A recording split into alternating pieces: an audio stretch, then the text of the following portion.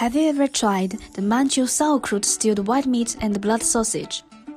White meat and blood sausage is a traditional dish born from the northeast Manchu, and it was very famous during the reign of the Emperor Kangxi.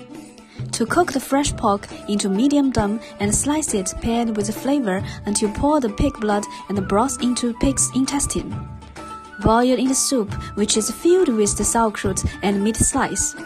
They are perfect to pair with the garlic and soy sauce. Pig blood may not only provide iron supplement and hemostasis, but remove toxic properties from the body. It also contains cobalt, which may against cancer. Would you like to try such a delicacy in the northeast region of China?